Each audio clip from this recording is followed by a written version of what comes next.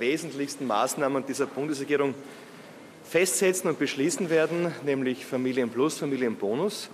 Das heißt, dass äh, Familien äh, pro Kind mit 1.500 Euro im Jahr entlastet werden. Es geht uns im Wesentlichen darum, und das ist ein Grundsatz dieser Regierung, dass wir einfach den Menschen nicht mehr so viel wegnehmen wollen, wie das in der Vergangenheit der Fall war. Deswegen auch diese steuerliche Entlastung. Das heißt, die Familien müssen dann um diesen Betrag pro Kind im Jahr auch weniger bezahlen an den Staat. Damit ist ein weiterer Beitrag gesetzt, um die Steuer- und Abgabenquote in Österreich auf jene 40 Prozent äh, setzen zu können, wie wir das uns auch vorgenommen haben für diese Legislaturperiode. In den letzten Tagen wurde immer wieder kritisiert, dass davon nur Familien äh, profitieren würden, die sehr, sehr gut verdienen. Das ist bitteschön nicht der Fall.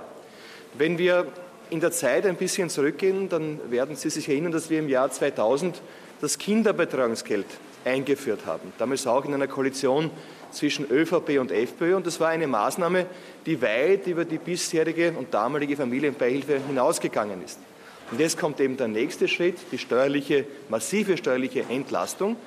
Und in voller Höhe von diesen 1500 Euro wird man auch bereits profitieren, wenn man 1700 Euro brutto als Alleinverdienerin bezieht. Das heißt, wir haben wirklich darauf geachtet, dass auch jene äh, in den Genuss dieser Erleichterung kommen, die es vielleicht, wenn man alleinerzieht, äh, nicht so leicht haben. Und auch beim Alleinerzieherabsetzbetrag werden wir eine Erhöhung vornehmen und das wird auch im Raum einer Negativsteuer möglich sein.